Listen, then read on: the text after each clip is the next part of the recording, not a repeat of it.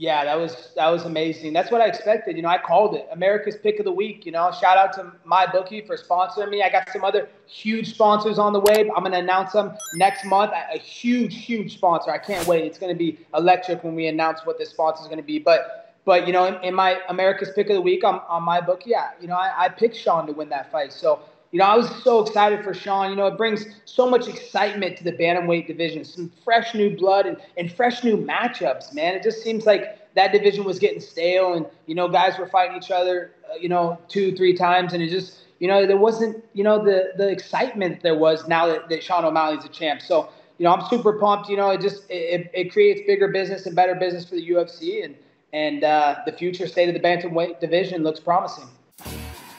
Thank you.